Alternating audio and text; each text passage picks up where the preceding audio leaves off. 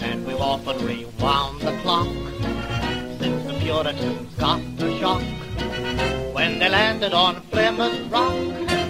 If today any shock they should try to stem, instead of landing on Plymouth Rock, Plymouth Rock would land on them in olden days glimpse of stocking was looked on as something shocking, but now God knows anything goes. Good offers too, who once knew better words, now only use four letter words, writing prose. Anything goes. If driving fast cars you like, if low bars you like, if old hymns you like, if bare limbs you like, if Mae West you like, or me undressed you like, why nobody will oppose.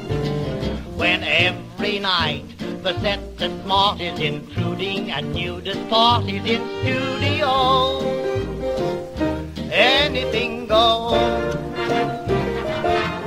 Mrs. Ned McLean, God bless her, can get Russian red siesta, then I suppose anything goes.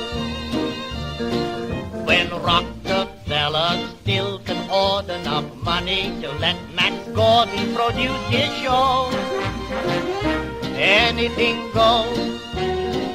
The world has gone mad today, and good's bad today, and black's white today, and day's night and that gent today you gave a cent today once had several chateaus. When folks who still can ride in jitneys find out Vanderbilts and Whitneys lack baby clothes, anything goes.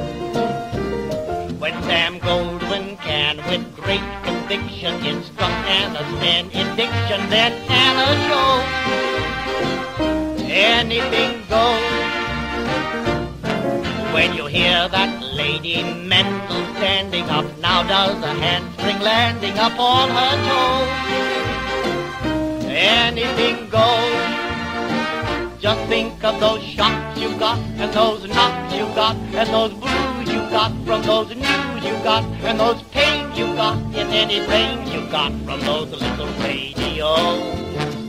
So Mrs. R, with all her trim and can broadcast the lead limit, cause Frank Franklin know anything goes.